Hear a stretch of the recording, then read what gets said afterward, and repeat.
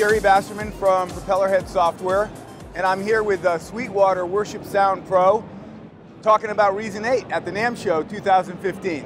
With Reason, you get really easy way to find your way around. There's no hidden screens. You're, you're in the um, mixer with your sequencer window, or you can look at your rack of effects instruments that you're using, or you can look at all three, or you can bust them out to monitors if you have a big studio.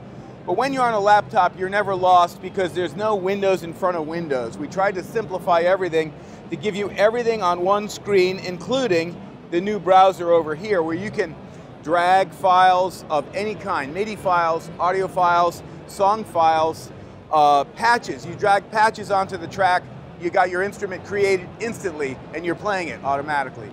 To show you a little bit about what's great about Reason's tempo control and pitch change. I'm going to whack the tempo a lot and it's going to sound great while I do it. Let's go down to 120. Let's go down to 110.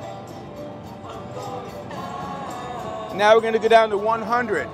No change in audio quality at all. Or I can make it really fast.